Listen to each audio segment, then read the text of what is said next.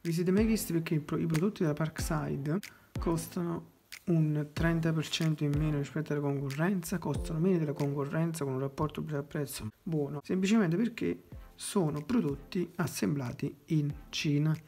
Questo Lidl non lo scrive da nessuna parte, infatti se leggete c'è scritto Germany e stop, niente.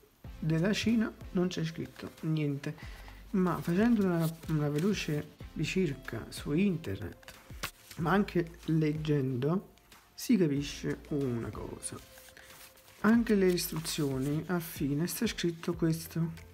Grizzly Tools GE e altro e anche questo sotto questi sono i veri produttori almeno i progettisti di questo trap perché Lidl con Parkside i prodotti Parkside vengono progettati da queste due grandi aziende tedesche.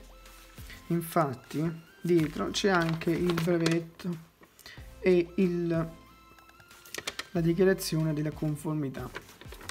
E addirittura su questo trapano c'è anche lo schema block della costruzione. Quindi il progetto è tedesco e l'assemblaggio è asiatico però almeno scrivere design in Germany assemblated in Cina. Se penso sia più corretto per i consumatori sapere che è roba cinese perché comunque cioè che è sembrato in Cina perché molti sono convinti anche io in realtà fino a poco tempo fa che la Parkside sia tedesca. Infatti come è possibile ragazzi che una Parkside un trapano così costa 40 euro? Oppure quella stazione saldante che è vero che è molto economico ma costi sempre 9,90 euro stare in offerta è impossibile.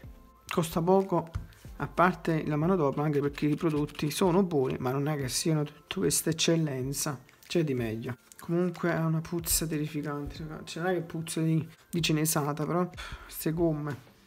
E niente se vi è piaciuto questo video lasciate un like condividete e iscrivetevi al canale.